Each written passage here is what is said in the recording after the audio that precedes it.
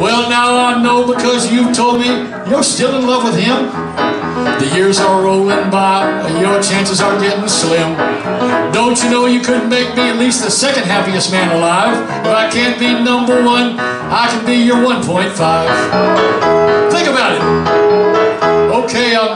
number one. Don't like the sound of being your number two. How about if I'm the second best thing that ever happened to you? You know, life's like a ball game. Never goes according to plan. If I can't knock in the home runs, let me get to second base now and then. Yeah, I'm a little more than one. I'm a little less than three. And if you're not over him, well, honey, at least you're under me.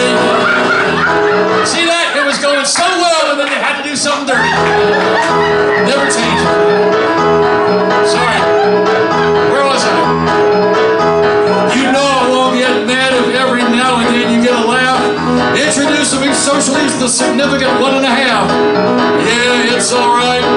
It's okay by me. If everybody says, I know that guy, that's designated Plan B. Honey, one's a lonely number. 1.5's not so bad.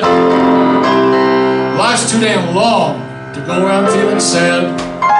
If I'm not your number one, that ain't no reason for you to get worried. Because, truth be told, when it comes to my list, honestly, you were somewhere around second or third. So you know that we could be at least the second happiest folks alive. If I can't be number one, how about Uno